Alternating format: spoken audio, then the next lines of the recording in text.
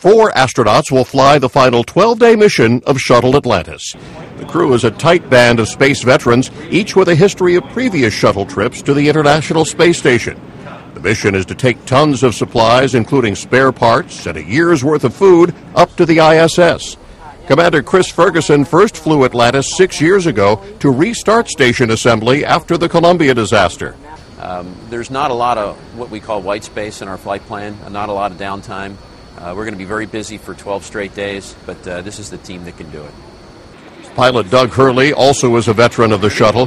He'll be at the controls after Atlantis undocks for the final time.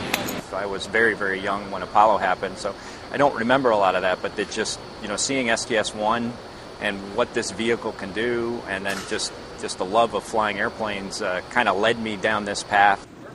Sandy Magnus logged more than 50 million space miles during a four and a half month stay aboard the station three years ago. Magnus says spaceflight has bugged her since junior high. I think when you look back at the shuttle program, you're going to see a vehicle that was adaptable to the fullest extent over the 30 year life in ways that the original designers maybe have had vague ideas about, but certainly no concept of the wide variety of tasks that the vehicle was going to be able to perform. She's in charge of transferring the cargo from the shuttle to the space station.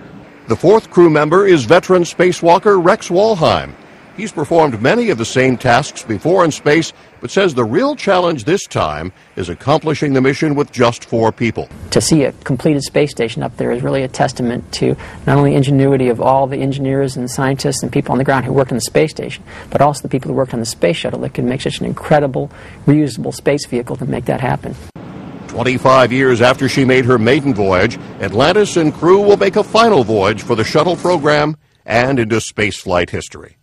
John Belmont, Associated Press.